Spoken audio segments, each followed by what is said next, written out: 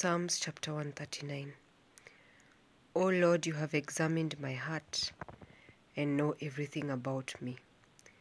You know when I sit down or stand up. You know my thoughts even when I'm far away. You see me when I travel, when I rest at home. You know everything I do. You know what I'm going to say even before I say it, Lord. You go before me and follow me. You place your hand of blessing on my head. Such knowledge is too wonderful for me, too great for me to understand. I can never escape from your spirit. I can never get away from your presence. If I go up to heaven, you're there. If I go down to the grave, you're there.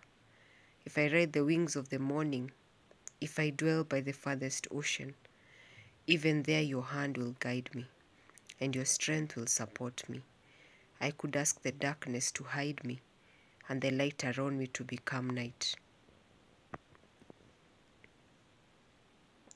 But even in darkness, I cannot hide from you. To you, the night shines as bright as day. Darkness and light are the same to you. You made all the delicate inner parts of my body and knit me together in my mother's womb. Thank you for making me so wonderfully complex. Your workmanship is marvelous. How well I know it. You watched me as I was being formed in utter seclusion, as I was woven together in the dark of the womb. You saw me before I was born. Every day of my life was recorded in your book. Every moment was laid out before a single day had passed. How precious are your thoughts about me, O God. They cannot be numbered. I can't even count them.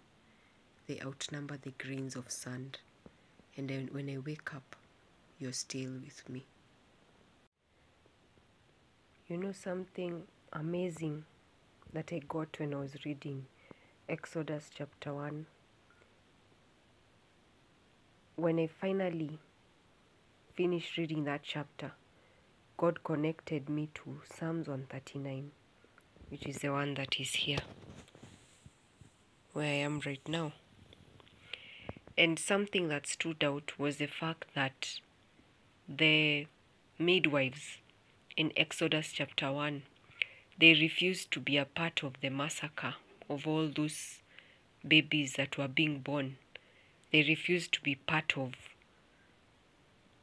part of the pe- the people that destroyed these lives before they even got a chance to live, before they got a chance to walk in their purpose.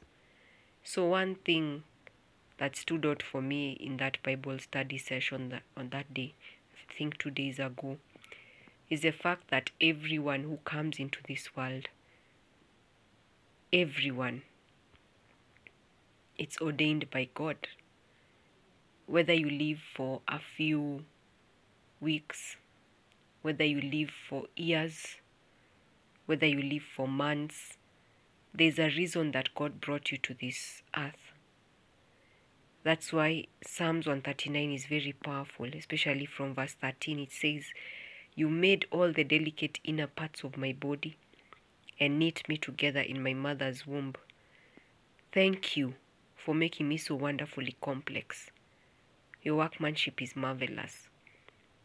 And David went on to say, this was David pouring out his heart to God, and he went on to say, You watched me as I was being formed in utter seclusion, as I was woven together in the dark of the womb. You saw me before I was born. Every day of my life was recorded in your book. Every moment was laid out before a single day had passed. You see, every day of my life was recorded in your book. Every moment was laid out before a single day had passed. So, this is just to tell you that you're very special. Yes, you, you who might not feel so special, you who might not feel like you're making much of an impact, there is a reason that God brought you to this world. And the only way you can realize that purpose, that reason, is by accepting Jesus as your Lord and Savior and walking with Him and allowing Him to lead you into that purpose. It's that simple. Just accept Him, walk with Him, and He will show you why He brought you to this earth.